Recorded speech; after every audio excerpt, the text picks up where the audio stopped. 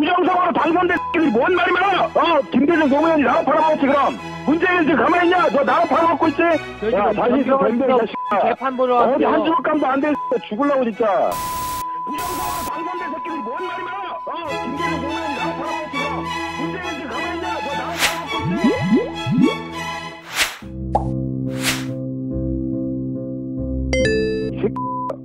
너 어디야? 야, 다시 있어, 뱀뱀, 이 자식아. 재판 보러 어디 한 왔어요. 주먹감도 안 돼, 죽을라고 진짜. 부정선거로 당선된 뭔 말이 많아?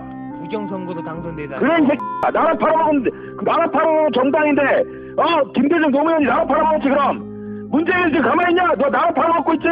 아니 나라 노무현이 어 살아 안 뛰고 살아서 죄값을 받길 바랬던 사람이야. 알겠냐? 됐냐? 어? 죄를 졌으면 어 죄값을 받아야지. 어디 나가서 죽고 아 그래서 얘기하는 거야. 됐냐? 야 조만간에 얼굴 한번 보자. 내가 찾아갈게 니네 학교로. 어디 조그만 놈이. 어리장머리 없이. 무서운 거 없지? 그냥 쫄지 그냥. 마 씨가. 알겠어?